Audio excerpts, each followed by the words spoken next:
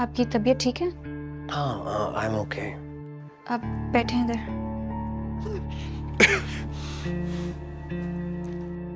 आपको इतना तेज बुखार हो रहा है। आप आराम करें मैं आपके लिए कहवा बना के नहीं नहीं प्लीज़ मुझे कहवा नहीं पीना।